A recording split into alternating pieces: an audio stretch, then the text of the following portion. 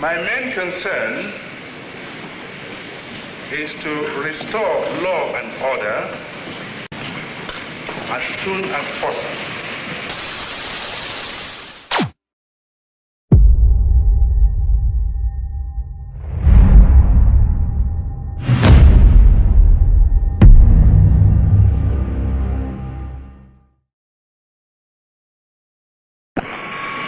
Federal military government in Nigeria has taken over the administration of the country.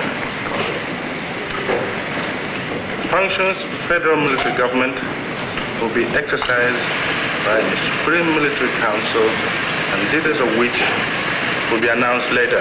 The new military government was welcomed with a massive outpouring of jubilation and goodwill. Having distinguished itself during the United Nations peacekeeping in Congo, the army was the only national institution that had not been tainted with corruption and anarchy of the post-independence years. The soldiers' crisply starched uniforms, heat caps, and impeccable British accents reinforced positive public perceptions of them.